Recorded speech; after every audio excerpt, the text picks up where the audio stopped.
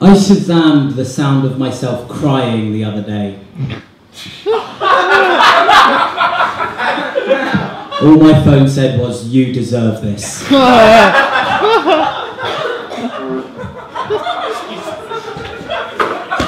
Welcome to Sandy Sundown Stand Up, everybody!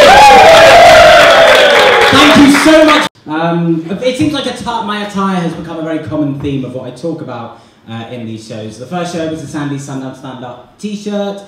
The second show was a Comedy Society jumper, and now I've had a mental fucking breakdown and I'm wearing a Fries Before Guys jumper. Uh, but I will explain it. Um, I saw this jumper online and I thought it perfectly explained my mantra on life. But I needed to find the equivalent for, for women. And I searched and I searched and I searched and I couldn't find anything. And I thought, what a sexist comment on society. Why is it only women who can prefer food over love? Why can't I prefer food over love as well? Then I realised that was bollocks. And the actual reason that there was no equivalent is fries before guys is just perfect. Fries is the most indulgent food, it rhymes with guys so well, and there is nothing like that for women. And I've tried, I saw a gap in the market, I thought I could take advantage, but there's just, I thought, breadsticks before chicks, kale before female, clam before her clam, none of these work, Sandys! So I had to go with the fries before guys jumper, but I feel like it, I, I work it, I feel like I'm rocking it. Um, I won't talk about my jump. Oh, thank you. That's a lie. Um, I won't talk about my jumper the entire evening. I promise. Even if I want to. Oh, oh. Oh, you, okay. You're working again. Um, I won't talk about my jumper the entire evening, but I do have one thing I would like to talk to you about this evening, uh, and it's something I've come to realise recently, and it's something you all need to realise too. Human beings are terrible.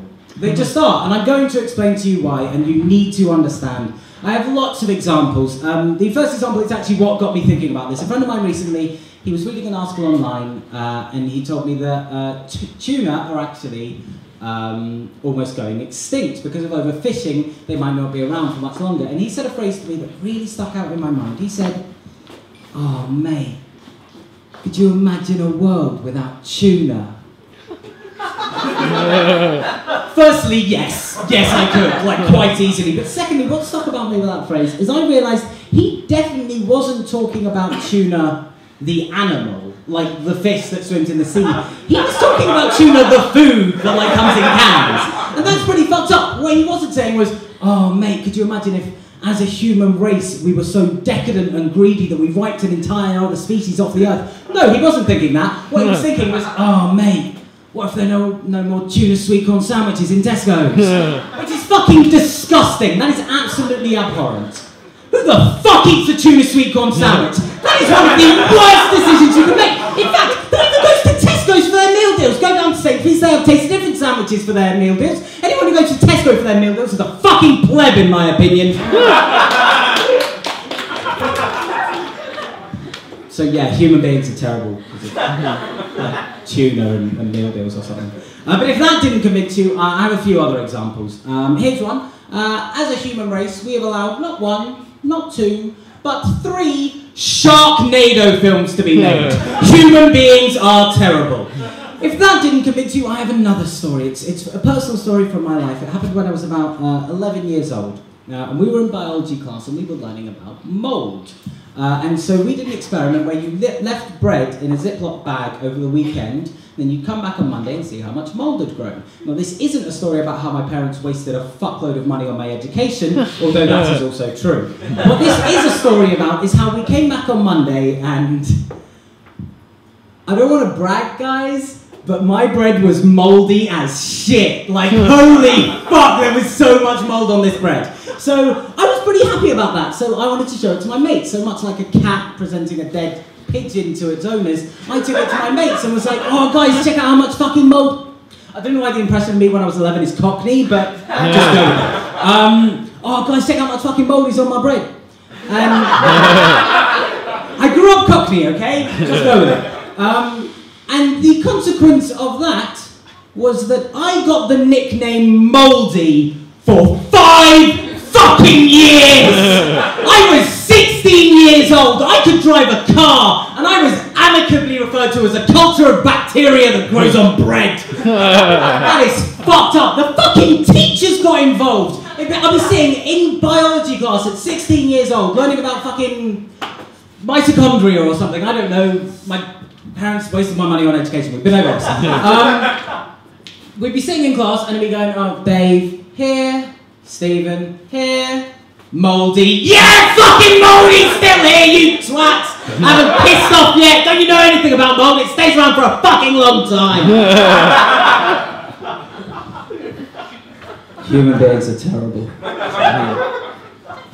It's fine. I've, I've, got over it. I've totally got over it. Um, I've got one final example for you about why uh, human beings are terrible, and it's actually a St Andrews-based example. Hey, catering to the audience, Jamie, comedy. um, so uh, another reason why human beings are terrible is until about three months ago, the only club in St Andrews was the Lizard.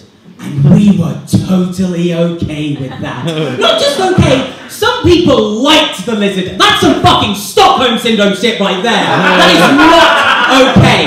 Because the lizard is quite frankly one of the fucking worst places on earth. The, go, going to the lizard is a lot like losing your virginity. And before anyone says it, not because I've not experienced either. the actual reason, and, and stick with me here, going to the lizard is a lot like losing your virginity. You'll most likely do it while drunk. There's not going to be a lot of space, so you're really going to have to squeeze yourself in there. Oh. And you're probably going to cry afterwards. that last one? Okay, right.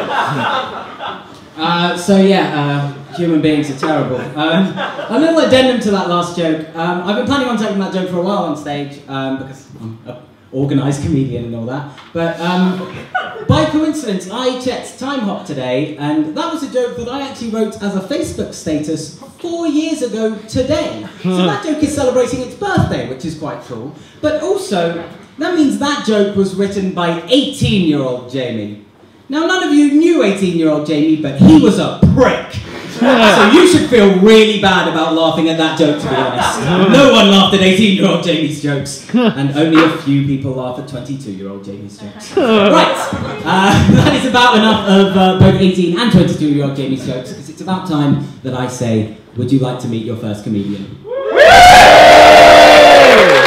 Come on, Andrews, I know it's week 11, but you can do better than that. Do you want to